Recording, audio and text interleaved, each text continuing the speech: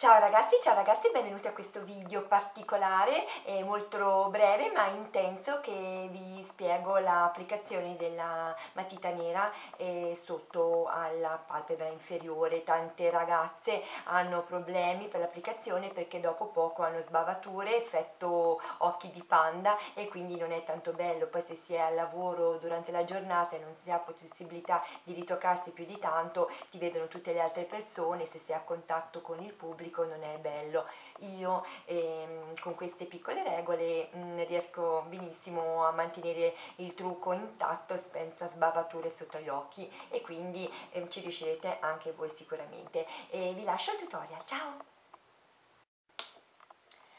E, ehm, di eh, applicare la matita sotto la rima inferiore eh, dell'occhio eh, bisogna decidere se applicare, io ho applicato quella nera eh, nella waterline, nella riga interna dell'occhio, ma si può eh, anche decidere di ehm, applicare la matita bianca. Per chi ha gli occhi piccoli si ingrandiscono molto con la matita all'esterno nera. Quindi valutate voi quale preferite di tipo di ehm, risultato e, ehm, il primo step che vado ad effettuare è, a, mh, mm, è, di applicare un po' di primer potion, qualsiasi primer per gli occhi, anche sotto la eh, riga, eh, questa qui inferiore. In questo modo, con un pennellino per ehm, correttore, e tiro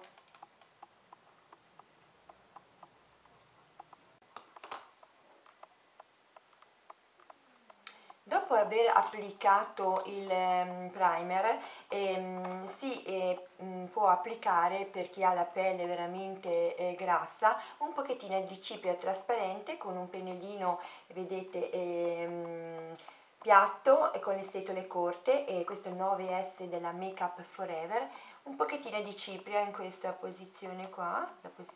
in modo da eh, proprio tenere fissato e, e, tenere anche asciutta questa zona in modo che non, non ci siano possibili sbavature se la pelle eh, suda un pochettino. Fase successiva è l'applicazione della matita nera, io utilizzo questa della Deborah 24 ore e mi trovo bene eh, dall'interno verso l'esterno. Piano piano facendo dei piccoli, come posso dire, passetti. E anche qua così, mm, un po' di qua, un po' di là, però proprio l'attaccatura delle ciglia inferiori.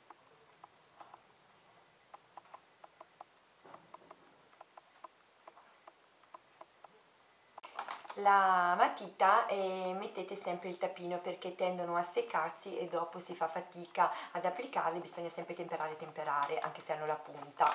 eh, fase successiva applico sopra la matita nera l'ombretto nero, io utilizzo un nero normale di una palettina e con il pennello o diagonale in questo modo oppure uno eh, con questo tipo di setole eh, piatto con le setole corte. E prendo il Fix and Plus perché lo applico bagnato lo stendo un pochettino uh, sulla mano e prendo il pennello diagonale, lo bagno e vado a prendere il ehm, ombretto nero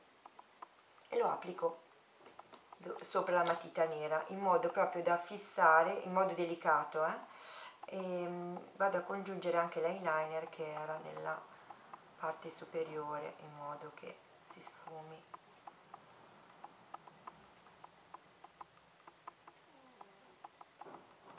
qualsiasi correzione si prende un mm, cotton fioc in modo, questo modo e se c'è qualche correzione qualche imperfezione si utilizza. Consiglio, ehm, portatevi sempre appresso qualche cotton fioc o quelli normali o quelli cosmetici con un pochettino di cipria in modo così lo applicate, lo applicate e lo mettete dentro un sacchettino in modo che se avete probabilmente la pelle così grassa eh, in, in questa manovra durante la giornata magari siete fuori tutto il giorno che siete in ufficio eh, eh, rimediate subito se c'è qualche problema di sbavatura quindi dopo aver applicato sia l'ombretto che la matita posso procedere con la, le varie fasi del trucco finali.